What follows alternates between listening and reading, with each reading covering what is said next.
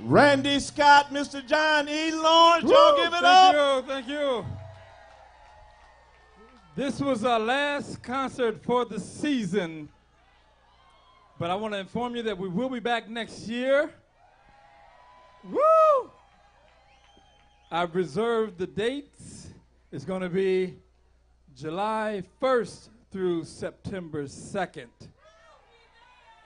The 2022 John E. Lawrence Summer Jazz Concert Series, brought to you in part by the following sponsors and donors like you.